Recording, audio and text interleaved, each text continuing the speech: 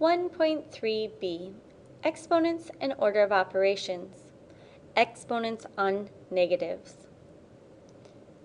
Exponents can only affect what they are directly attached to.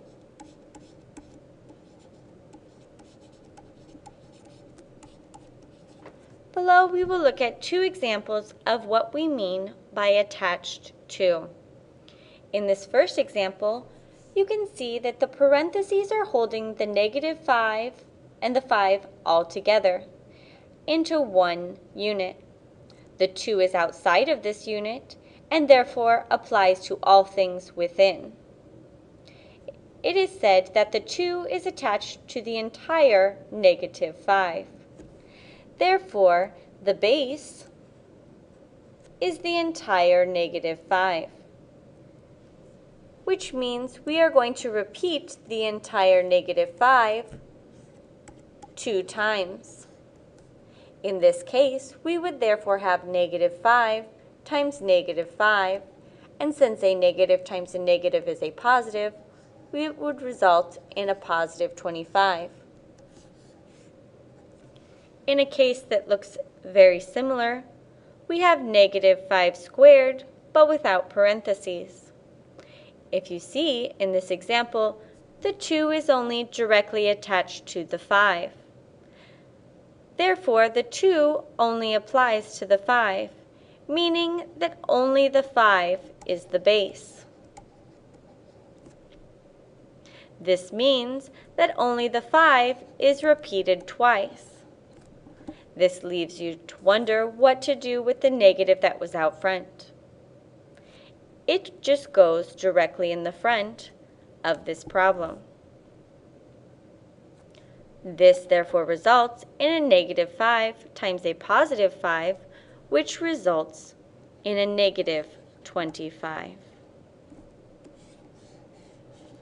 As you can see in this example, if there are not parentheses holding the negative with the number to make it the base, then it cannot be included in the replication. In the second example, you see there are no parentheses, and therefore the exponent is only attached to the 5 and not the negative.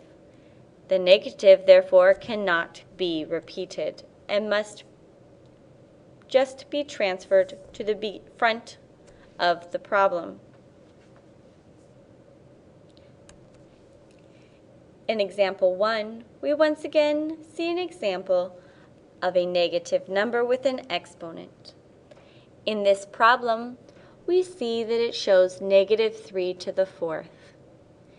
We must first identify whether the exponent is attached to the negative or not. Since there are no parentheses, the 4, or the exponent, only applies to the base of 3. This means that only the 3 is being replicated. The exponent says to replicate this 3 four times. We therefore write out 3 times 3 times 3 times 3. Remember, you must transfer the negative to the front of the problem. In this case, we now work two numbers at a time.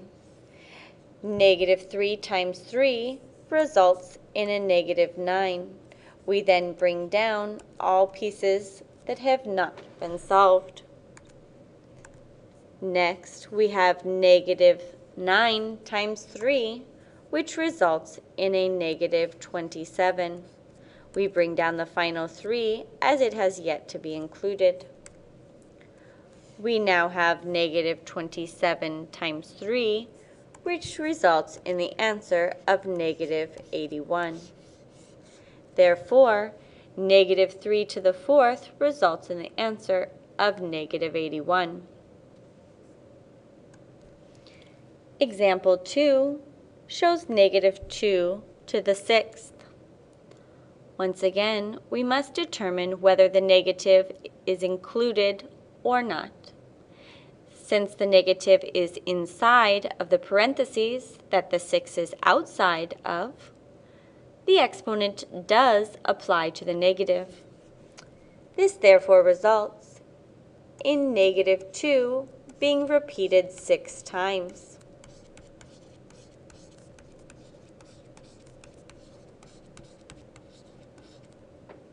Once we have expanded it out to show that negative 2 has been multiplied 6 times, we then can begin to solve. The first two numbers being negative 2 times negative 2, which results in a positive 4. We then bring down all of the problem that has yet to be solved. Next, we have 4 times negative 2, which results in negative 8. Once again, we bring down all portions of the problem that have yet to be solved. In the next step, we have negative 8 and negative 2, which results in a positive 16, bringing down the two negative 2's that have yet to be used. Next, we have 16 times negative 2, which results in a negative 32, and we bring down the final negative 2. Finally, we do the last two numbers, which are negative 32 and negative 2, and since a negative times a negative is a positive, this results in an answer of positive 64.